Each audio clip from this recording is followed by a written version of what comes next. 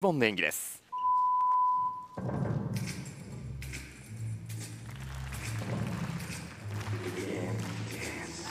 この選手はもう大変ベテランの選手ですので、安定感があるというふうに言われている選手ですね。リボンの演技どんなところポイントでしょう、えー、6メートルのリボンを自由自在に扱いながら、えー、特にターンの要素をですね多く入れながら加点を狙っていきたいそんな種目になっています。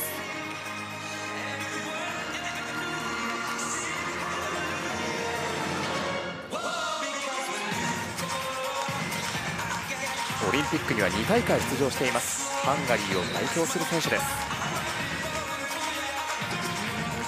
リボンの描きが弱いと、えー、リボンの端が体にくっついてしまって、えー、そこは実施減点入ってしまうんですね。大きく点数を失ってしまいますから体の遠くでリボンを扱うことがとても大切になってきます。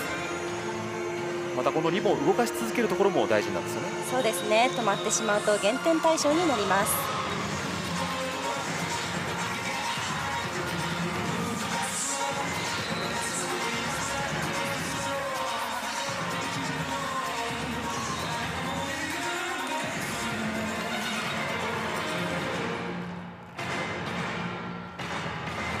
ラストのリスクは足で取って加点を狙います。